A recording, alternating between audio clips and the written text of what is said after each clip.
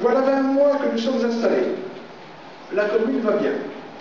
Elle est gérée comme il se doit. Les finances sont saines. Et nous veillons en permanence à ce que tout soit mis en œuvre pour les maîtriser, tout en maintenant nos taxes à niveau moderne. En 2009, des travaux ont été réalisés.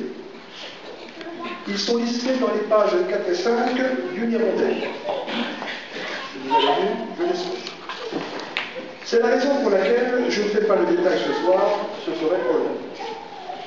Bien sûr, beaucoup reste à faire, notamment dans les écoles en général, et l'école maternelle en particulier. Mise aux normes électriques, éclairage, peinture, remplacement de portes et fenêtres, etc. Cette école doit être accueillante, ce qui est loin d'être le cas.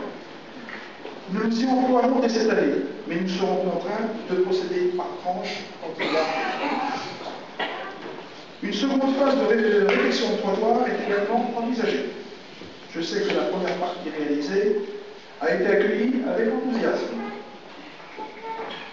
La concentration des place, et vous l'avez lu, sera évidemment le réaménagement et l'extension de la mairie qui en a.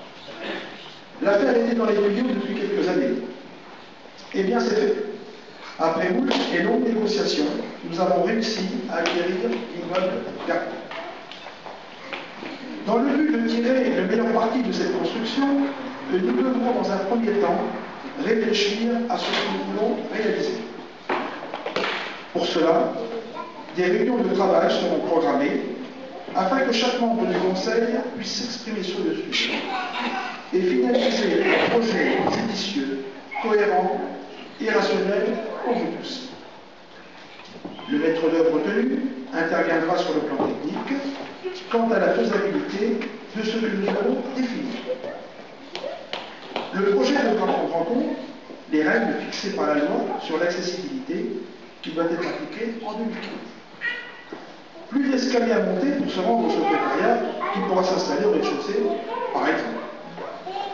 A priori, le premier coup de pioche n'interviendra pas avant la fin de cette année. Les procédures en ce domaine sont très longues.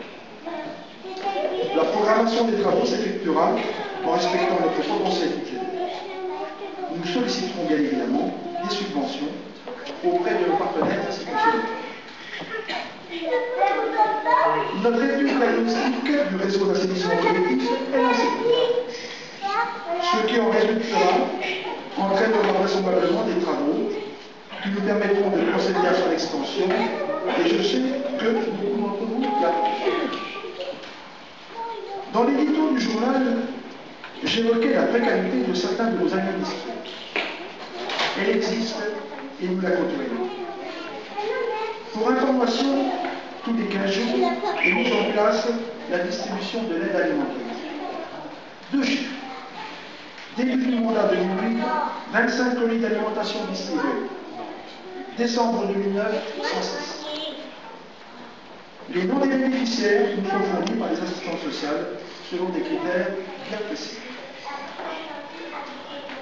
Dans le cadre de cette organisation, je tiens à remercier particulièrement Bernadette Fournier, deuxième adjoint, pour son implication dans la répartition méthodique équitable des denrées alimentaires.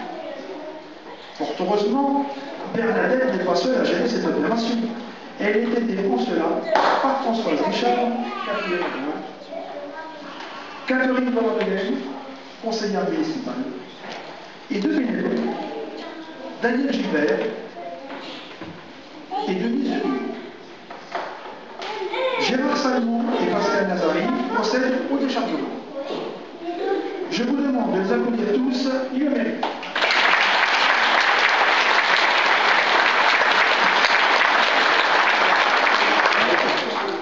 Un rappel plus souriant.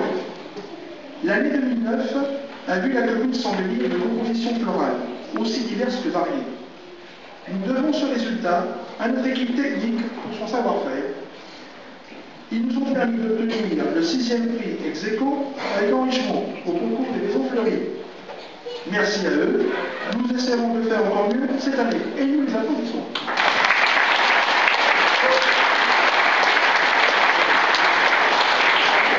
Enfin, un grand merci à tous mes proches collaborateurs, adjoints, conseillers, secrétaires, le personnel technique, le personnel des écoles, à qui je demande pardon.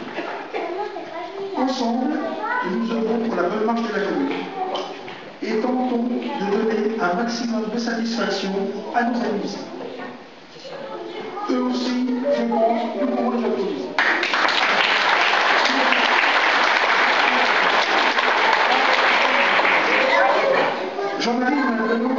À des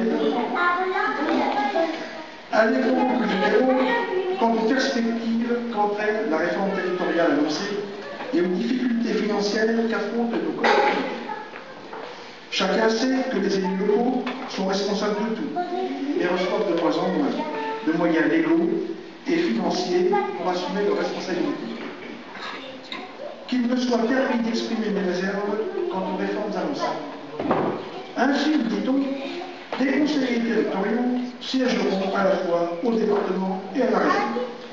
Ils remplaceront de fait les actuels conseillers généraux et régionaux. Si le président de la République a précisé, je le cite, que ce n'est pas la mort ni des départements ni des régions, mais l'émergence d'un groupe région-département doté d'un petit commun. Grandes sont les inquiétudes sur ce que sera demain le véritable rôle du commun. Les élus locaux, et en particulier les maires, représentent les interlocuteurs privilégiés de la population.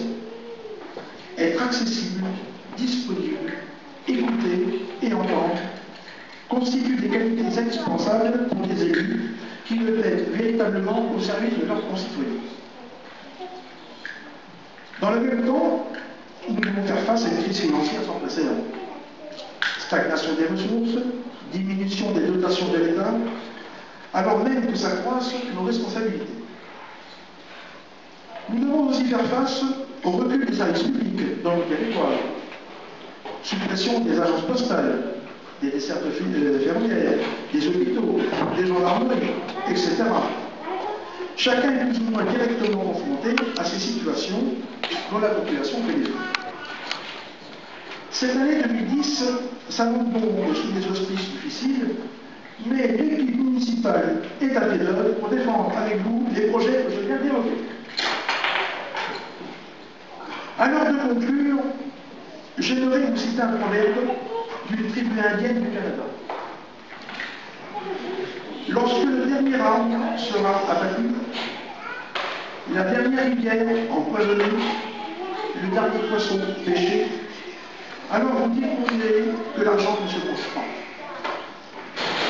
Ces mots résonnent comme un appel à notre responsabilité collective de citoyens pour qu'à notre modeste échelle, nous contribuions à préserver notre planète en essayant de montrer la voie aux générations futures. Ce message de vigilance résume bien l'enjeu pour chacun d'entre nous de donner l'exemple nos enfants. Je vous renouvelle mes voeux en vous remerciant de votre patience et je vous invite à lever ensemble le verre et partager la qualité Merci.